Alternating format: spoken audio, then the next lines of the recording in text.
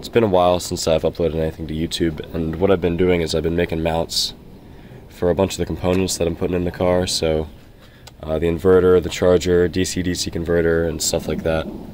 So right here, I have the inverter for the Hyper 9 motor, which is right here.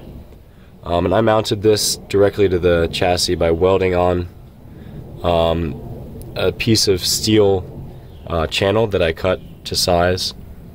Um, and I welded that directly to the frame, the chassis frame, uh, in two places. There's one piece here, and then further back, which you can somewhat see, is a piece right there. Uh, and I also drilled four bolt holes in it uh, to correspond with the four holes that hold the uh, inverter and the chill plate, which is right here for the inverter in place. For the charger, I welded up this bracket, um, again with some angled steel and some flat pieces, and I have four holes in it.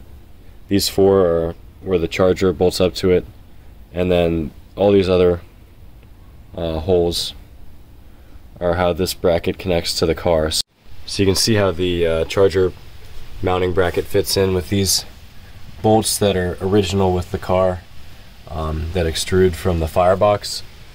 And then I also have the holes that I've drilled through into the area where the ECU used to be. Um, and that's how this thing is staying put. Here's the charger all uh, bolted up to the firewall of the car and it's very sturdily mounted. Uh, it's definitely not going anywhere. So a couple of the other things I made mounts for is the J1772 charging inlet, which fits right in here, uh, bolts into this bracket that I welded onto the front battery box, which is going where the radiator used to be. Um, so yeah, that bolts in with these four holes using these four small uh, bolts. And for the DC to DC converter, this bolts into the back of the box like this with those four uh, bolt holes.